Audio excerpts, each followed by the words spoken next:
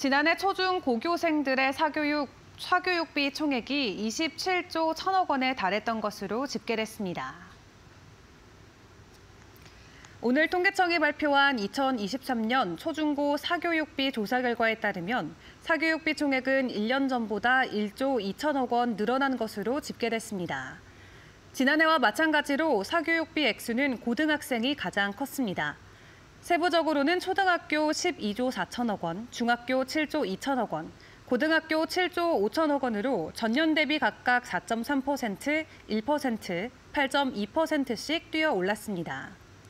이와 관련해 박은영 통계청 복지통계과장은 2020년 코로나19 영향으로 사교육비 총액이 감소했다가 2021년 하락한 부분에 대한 반등으로 큰 폭의 증가세를 보였고 지난해도 역시 증가세를 이어갔으나 증가폭은 둔화한 것으로 보인다고 설명했습니다.